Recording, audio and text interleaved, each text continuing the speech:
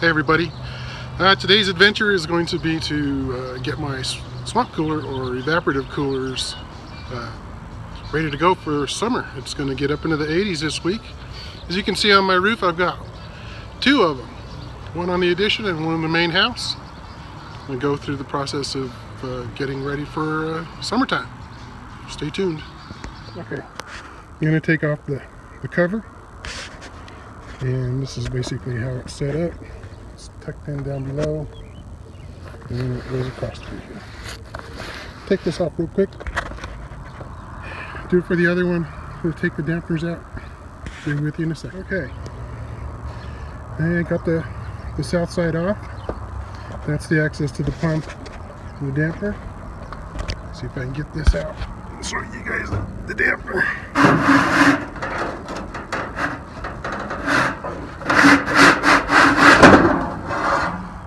there it is. That prevents the flow from going inside the house while the um, the heater's on, the furnace. So anyway, got to do it to the other one and get all these pads off and clean them up. Put new pads in and reinstall it. I'm gonna have to take off the ropes on, on this one. They help keep everything nice and snug. The covers don't fly off. So that's what I'm gonna do. And here's a beautiful view from top of my house. Beautiful Santa Fe. Alright, I've uh, taken off the cover. I'm to get on the damper on this one for the uh, for the uh, family room. And the damper is underneath here. I need to remove that screw to pull this off. Do that here in a second. Okay, I've removed that screw. I'm to take this off. Just kind of lift it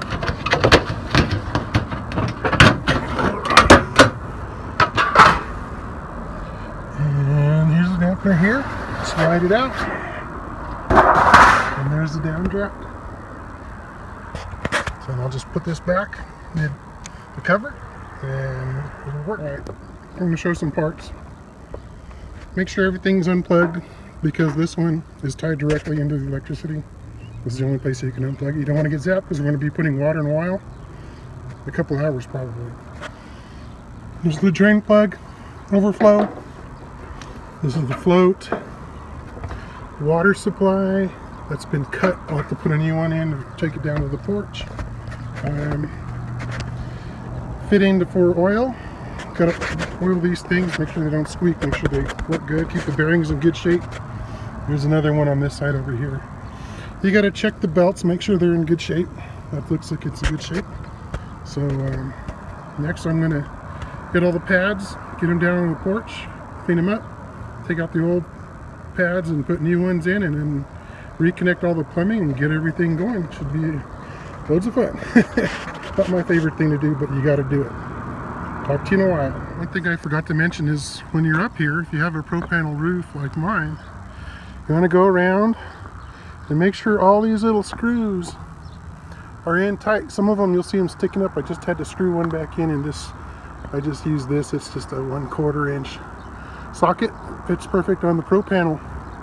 Anyway it's a good thing to do Is get them every year. They come up. Bye. All right. So i'm down here on the, on the slab. I gotta work on these. First thing you got to do is pull these out. You know they come out.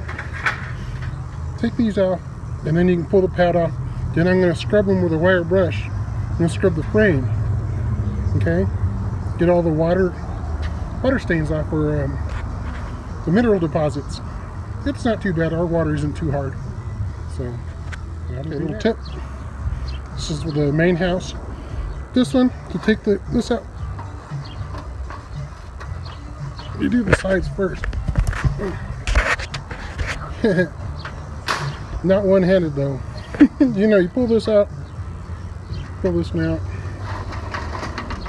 and then you can do the ends by lifting it in the center. Pull it up. Okay. Pull the sides out. Now just pull it about right here. There you go.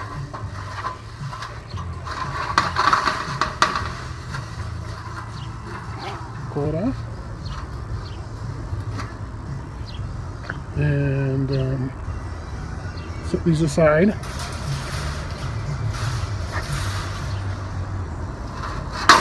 Pull the old pad out. Check it in that place where you don't mind getting dirty. And do the next ones. That's how you do it. I'm to show you what I do for brushing it off. See the, the water stains are here. Actually, there's part of it's just a, just some slime, some swamp stuff. So you get that off with the wire brush. You know, sometimes you get a little bit right in here too, but mainly it's uh, it's down in this area, and the bottom side as well. Let's see. So I'll be scrubbing those off with the wire brush. Show you just get a regular old wire brush, start scrubbing. Under here, where the water sits. And then up in here. Then in the, in the place where the water goes here. So. I need to do that too. And I've been doing this for 20 plus years and uh, my swamp coolers are still working. Actually this is the newer one so it's only about 13 years old. These are the old boys. Still works, haven't had to replace them, but they're getting there. Talk to you in a little bit. Okay, so we'll clean them all up. These ones are clean, these ones are clean, everything's looking good. And um, put a new pad in this little guy here. And I just need to put this together. And I want to make sure that it stays wet. So kind of go, I tend to kind of pull them a little down near the bottom. But you tuck them in real nice. Um, if you can't get them uh, quite the size that you measure from the width and length um, you can get them a little bit longer and then just fold them in. This one if you know just the plastic alone, the netting, I folded under. But you can actually fold the whole thing, and I'm going to do that with these larger ones over here, because I had to get a 29 by 29, and that's a little too big on one, one length, so just thought I'd show you that. One thing I, uh, I need to let you know is I've, the, all the years, I've tried different kinds of pads, the blue synthetic ones, the green ones, and a lot of them they just don't seem to work good. But these Aspen snow cools, these things are the bomb. They cool great. So uh, they're a little messy, but it's okay. They work great. I like them.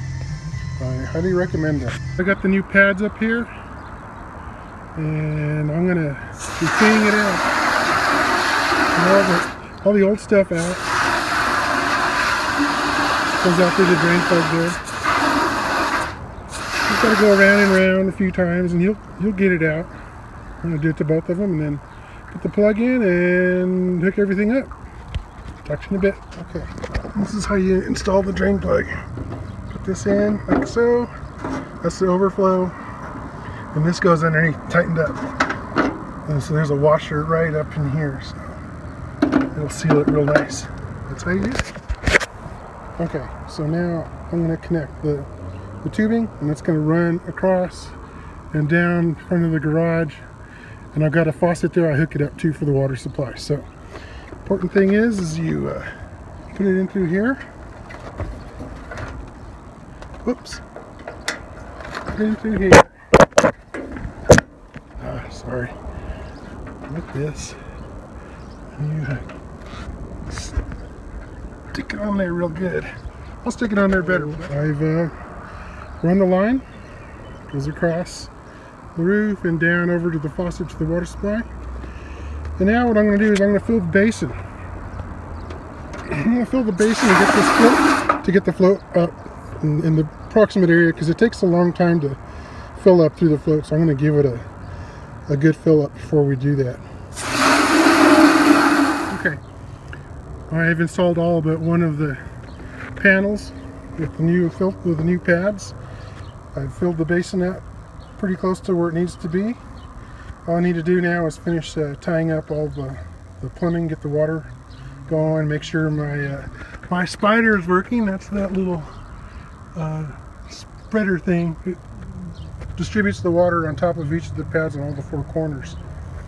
I'll be doing that next. This guy is ready. Hooked everything up. Put water in the basin. The float is working. Just need to do the plumbing. Got it going down to the back porch and there's a water uh, faucet back there for the water supply. I'll hook everything up, make sure everything runs, then I'll tie everything in all the way. All right, well I turned on the AC on low. The pump is going, the motor is going, the fan's going, but there's no water really coming out. It's just dripping. So it's plugged. Something's up. And I get my little little drain tool. I'll be back. All right, this is my spider Roto-Rooter. I'm gonna run this uh, up in the spider and try to clean it out. We'll see if it helps. Okay, so I found the problem. This was plugged, and so was that. This little guy was full of a bunch of crap, so I got it out, I think. I'm gonna reconnect it and try it again. Well, I fixed it. Got water coming out of all of them. Seems to be working good. That's the one problem about this uh, this Aspen pad. It does clog things up. You got to be able to clean out your spider with uh, tools like this and be able to understand that you can take that thing apart and buy new ones if you have to. So that's it. It's good. You can see the, the black line, the water line coming down. It's underneath the porch. Got it coming down around this pole and hooked up right here to this guy. So that's the way I have mine hooked up. So I got all the plumbing going, uh, checked the all the uh, evaporative coolers are all working good up top.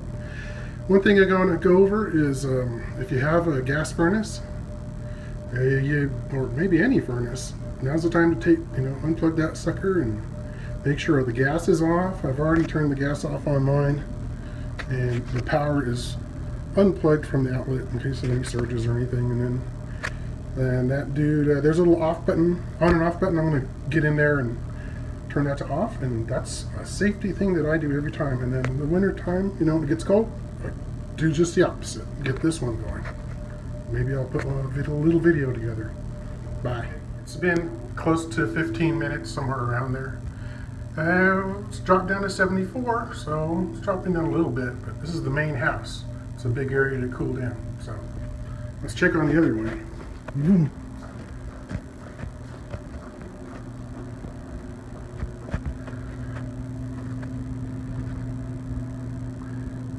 Is already at 72 degrees, so it's nice and cool in here. This one's the beast. It's just a direct, direct downdraft from about four feet away. it cools this place off good. Well, that's pretty much ends it. Um, oh, the temperatures outside are 72, and earlier they were hotter than that. Humidity is about is at 34% based on a weather underground uh, station, probably about half a mile from our house. Anyway, you guys take care. Have a good one. Hope you enjoyed it. Talk to you later.